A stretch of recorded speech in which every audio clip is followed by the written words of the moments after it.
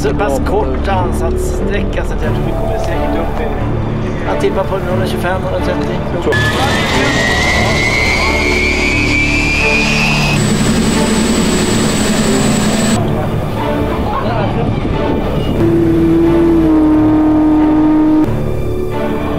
Oj, oj, oj, oj, oj, oj.